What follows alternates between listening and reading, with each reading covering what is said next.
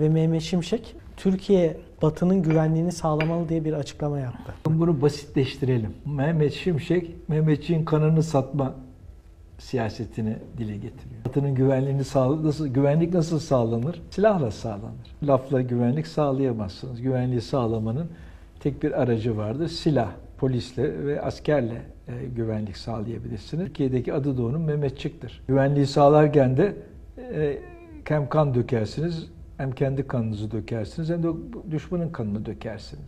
Gerçekçi olarak ele alalım. Mehmetçiğin kanını satma siyasetini tekrar Türkiye'nin gündemine getiriyor. Karadeniz neresi?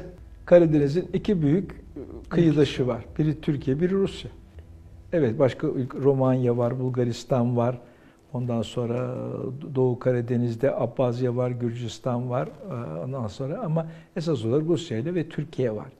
Kime karşı Karadeniz'in güvenliğini e, Mehmet Şimşek sağlayacak Batı adına? Rusya'ya karşı. Yani e, Karadeniz'de Mehmetçik, bu tabii Karadeniz'de de sı- sınırlı kalmaz. E, Rusya'ya karşı e, Batı'nın güdümünde e, görev yapacak Mehmetçik. Ya bunu kimse kimse artık Türkiye'ye kabul ettiremez. Ve e, bu açıklamalar Sayın Tayyip Erdoğan içinde çok uyarıcı olmalı. Yani kendi Maliye Bakanı açıkça Mehmetçiğin kanını satma politikasını dile getiriyor. Ve burada Kılıçdaroğlu'larla falan yarışa giriyor. Akşener'le, Kılıçdaroğlu'yla, Babacan'la, Davutoğlu'yla.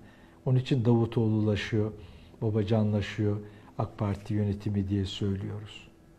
E, bu çok son derece tehlikeli ama bunun olma ihtimali yok. Yani Mehmet Şimşek, Mehmetçiğin kanını pazarlayacağım dedi diye pazarlayamaz. Öyle bir gücü yok Mehmet Şimşek. Tayyip Erdoğan'ın da o gücü yok. İstedikleri kadar hükümette olsunlar. Hiç kimse Mehmetçiğin kanını satamaz. Buradan söylüyorum.